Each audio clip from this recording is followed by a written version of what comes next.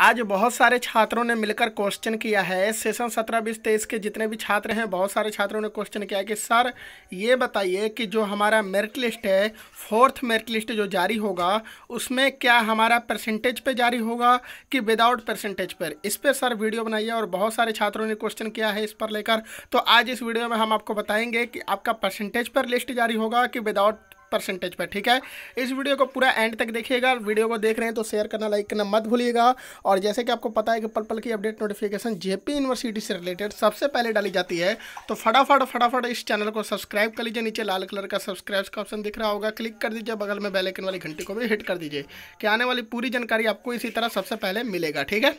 तो गाइज़ जैसे कि आप लोगों को पता है कि फ़र्स्ट लिस्ट जब जारी हुआ था और सेकंड लिस्ट जब जारी हुआ था और थर्ड लिस्ट जब जारी हुआ था तो आप लोगों को मालूम ही होगा कि फ़र्स्ट सेकंड थर्ड लिस्ट में जो है आप लोगों का बहुत सारे छात्रों का जो है जिनका परसेंटेज हाई था, उनका मतलब लिस्ट में नाम नहीं दिया गया और जिनका कम परसेंटेज था, कम परसेंटेज छात्रों का जो है लिस्ट में नाम आ गया और हाई वाले परसेंटेज छात्रों का लिस्ट में नाम नहीं आया, ठीक है? इसको लेकर बहुत सारे छात्र परेशान थे।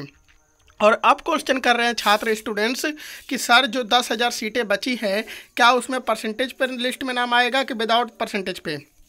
और बहुत सारे छात्रों को ये भी क्वेश्चन आ रहा है, बहुत सारे छात्र ये भी क्वेश्चन किए कि सर स्पोर्ट एडमिशन बोला गया है कि स्पोर्ट एडमिशन लिया जाएगा?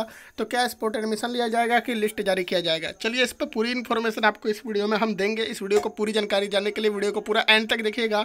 वीडियो को थोड़ा सा भी आगे पीछे भगाकर मत देखेगा वरना इन्फॉर्मेशन से आप वंचित हो सकते हैं।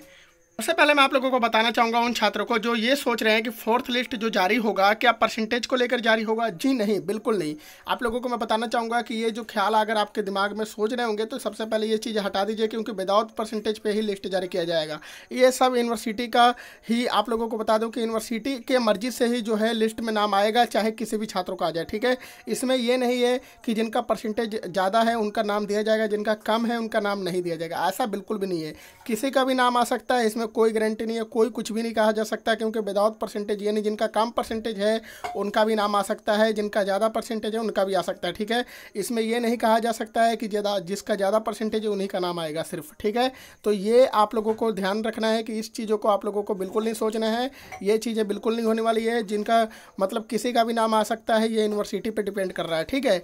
अब बात करते हैं उन छात्रों की जो ये सोच रहे हैं कि स्पोर्ट एडमिशन होगा कि नहीं। देखिए कॉलेज के प्रिंसिपल ने बोला है कि आप लोगों का जो है फोर्थ मेरिट लिस्ट जारी किया जाएगा, ठीक है? आगे की जो भी नोटिस आएगा, अभी तक विश्वविद्यालय की तरफ़ से कोई ऑफिशियल नोटिस नहीं जारी किया गया है, ठीक है? कि आपका स्पोर्ट एडमिशन होगा कि फोर्थ मेरिट लिस्ट जारी होगा? ये कॉलेज के प्रिंसिपल ने बोला है कि फोर्थ मेरिट लिस्ट जारी किया जाएगा, लेकिन विश्वविद्यालय से अभी तक अभी कोई भी ऑफिशियल नोटिस नहीं जारी किया गया है। तो जैसे ही ऑफिशियल नोटिस जारी होगा, उसमें आप लोगों को मैं बता दूँगा। एक न्यूज़ आर्टिकल के माध्यम से आपको बताया गया था कि जो है, स्पोर्ट एडमिशन कुलपति ने खुद साफ़ मना कर दिया था कि स्पोर्ट एडमिशन नहीं लिया जाएगा। लेकिन विश्वविद्यालय का नोटिस का इंतज़ार करिए। जैसे ही नोटिस आएगा, आप, हम आपको बता देंगे सबसे पहले कि आपका फोर्थ मेरिट लिस्ट जारी होगा कि स्पोर्ट एडमिशन लिया जाएगा। स्पोर्ट एडमिशन लिया जाएगा तो भी पता लग जाएगा और फोर्थ मेरिट लिस्ट जारी होगा तो भी पता लग जाएगा। लेकिन जहाँ तक की चांस है आप लोगों का फोर्थ मेरिट लिस्ट ही जारी किया जाएगा, ठीक है?